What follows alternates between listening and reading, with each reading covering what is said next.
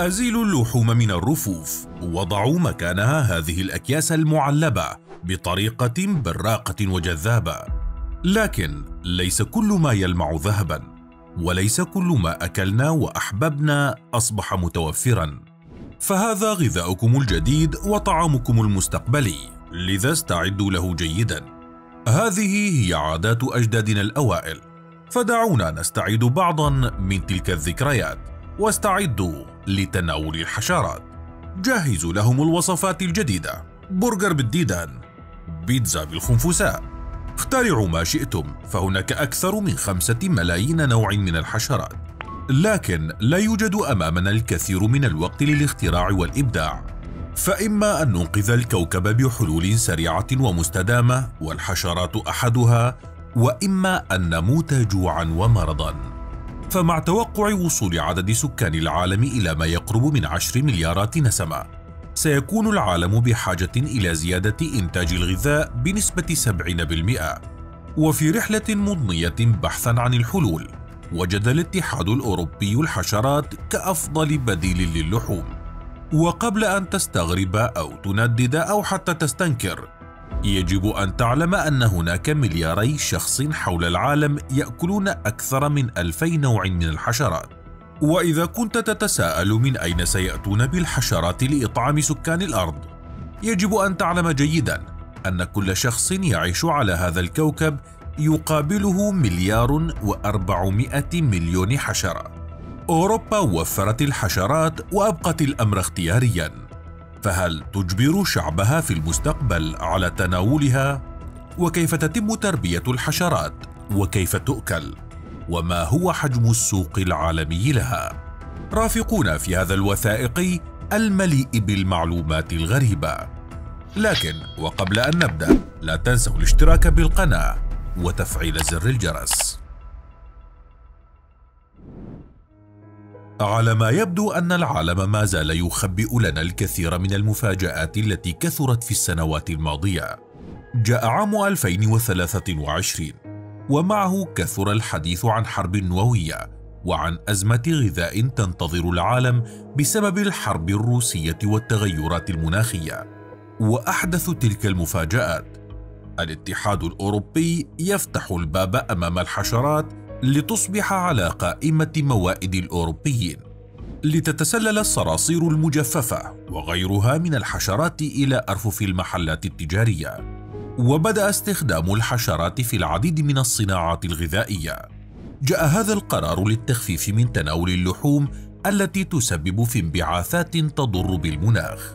وإذا ما تمكن العالم من استبدال الحشرات باللحوم فإن ذلك سيضع حداً لأربعة عشر ونصف بالمئة من جميع انبعاثات غازات الاحتباس الحراري والتي تأتي حاليا من تربية الماشية. عشر كوينتيلون حشرة. تعيش الحشرات في كل موطن تقريبا وفي كل ركن من أركان الكرة الأرضية على الأنهار الجليدية وفي الغابات الاستوائية والصحاري الحارقة. وحتى على سطح المحيطات. يعيش معظمها لبضعة أيام أو أسابيع فقط. تشير التقديرات إلى أن هناك عشر كوينتيلون حشرة على الأرض. حتى الآن قام العلماء الذين يدرسون الحشرات بتسمية مليون نوع منها. لكن ما يزال هناك نحو أربعة ملايين حشرة لا تزال غير مصنفة. تعتبر الحشرات مصدرا غذائيا هاما للحيوانات الأخرى. وتشير التقديرات إلى أن الطيور وحدها تأكل ما بين 400 إلى 500 مليون طن من الحشرات سنويا. والحشرات أيضا حيوية لكل نظام بيئي فهي تقوم بتلقيح النباتات وتحليل كل شيء وتصنف بكونها أكثر المحلات كفاءة على كوكب الأرض. كما أنها تزرع الفطريات وتنثر البذور. وتساعد الحشرات في السيطرة على تجمعات الحيوانات الكبيرة عن طريق إصابتها بالأمراض أو امتصاص دمائها. يقدر بعض العلماء أن العدد الفعلي لأنواع الحشرات المميزة قد يصل إلى 30 مليونا، وبسبب أعدادها الهائلة من المحتمل أن ينقرض عدد كبير منها قبل أن يعثر العلماء عليها. تشكل الخنافس 40% من أنواع الحشرات وهي أكبر مجموعة من المخلوقات المتنوعة حيوياً.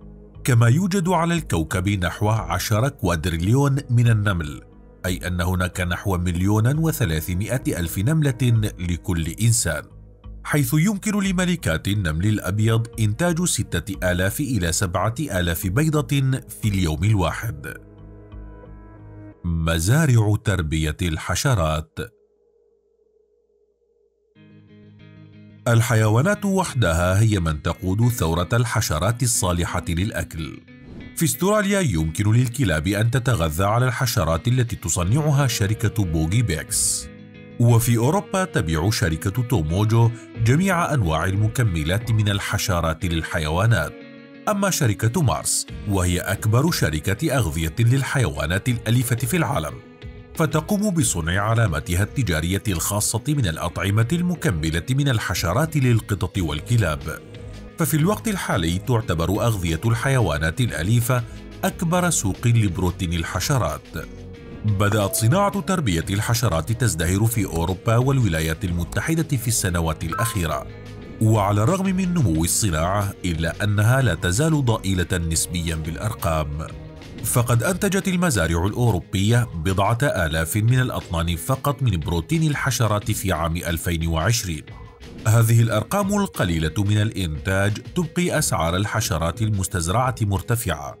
وفي السنوات الأخيرة نمت زراعة الحشرات عموديا بشكل غير متوقع وذلك بسبب انخفاض تكلفتها بنسبة 94% ومن المتوقع أن ينمو السوق العالمي للزراعة عموديا عموما من 3 مليارات و700 مليون دولار في عام 2021 إلى 10 مليارات و500 مليون دولار أمريكي في عام 2026 عند الدخول إلى موقع التصنيع الرئيسي لشركة يانسك والذي يعتمد الزراعة الرأسية فإن أول ما يقابله الزائرون هو رائحة غريبة خليط بين التراب والسماد.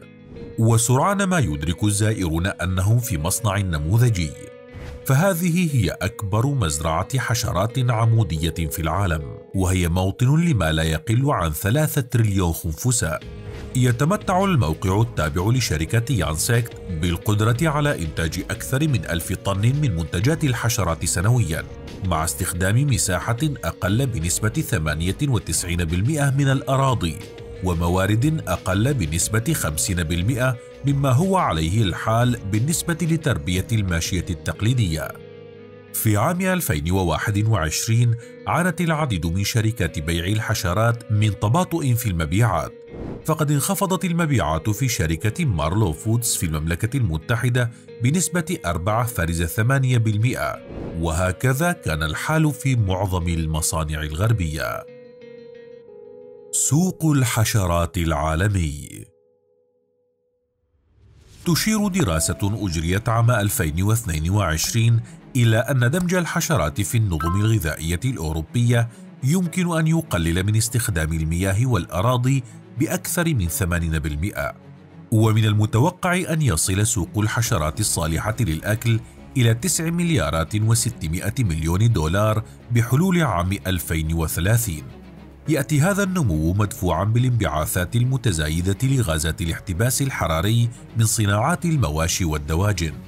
بالإضافة إلى زيادة الاستثمارات في شركات البروتين البديل والابتكار في تكنولوجيا الغذاء. وذلك لما تحتويه الحشرات من قيمة غذائية عالية. وصل سوق بروتين الحشرات العالمي لعام 2022 إلى نحو 430 مليون دولار. ومن المتوقع أن ينمو بمعدل نمو سنوي مركب يبلغ 26.5%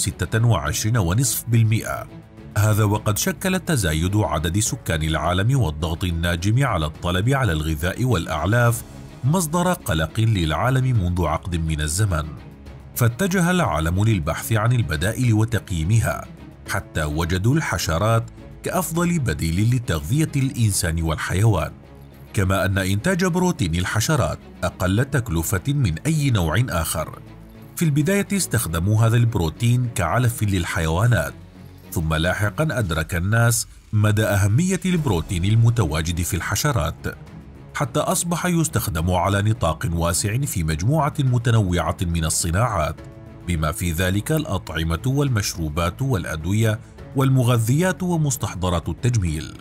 وتعد الحشرات أيضا مصدرا للدهون الأساسية والدهون عالية الجودة والألياف والفيتامينات والمعادن مثل الحديد والكالسيوم.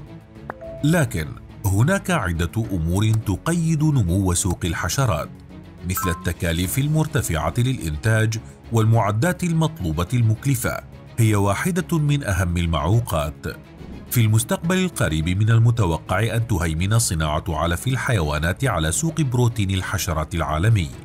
ويرجع ذلك إلى كونه منتجا ذا قيمة غذائية عالية حيث يساعد بروتين الحشرات في تحسين معدل زيادة الوزن في الحيوانات والوقاية من الأمراض ونقص الفيتامينات وتحسين هضم الأعلاف وتحويلها.